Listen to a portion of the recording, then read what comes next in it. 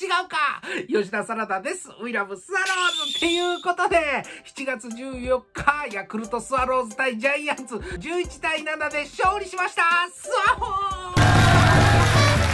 いやー、嬉しいですね。ジャイアンツに2連勝。前半戦を終えるということで、いい締め方だと思います。今日ね、もういきなり4点取ってくれたんで、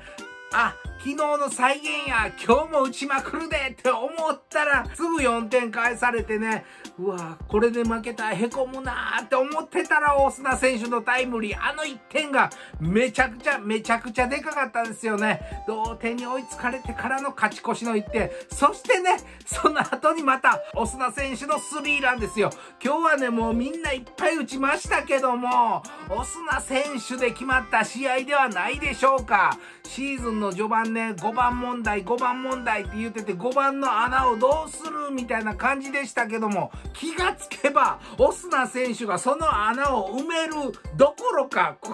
穴を埋めた上に山をね、作ってくれてるぐらいの、お砂の山、おす、おす、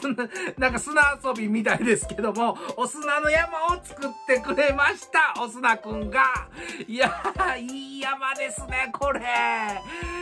本当にね、オスナ選手もサンタン選手もそうですけども、新外国人選手がね、頑張ってくれてますよ。まあね、中断期間入るんですけど、正直言えばこの勢いある時に中断もったいないなって思ってるんですよ。このままね、突っ走りたい感じがするんですけども、まあまあ仕方ない決まってたことですから、中断が終わった時に、みんなね、怪我のないように戻ってきてもらいたいなと思います。今ね、あの、夏休み前の先生の気分です。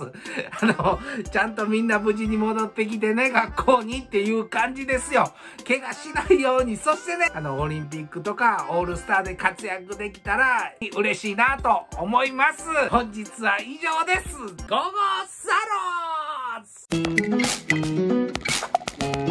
Thank you.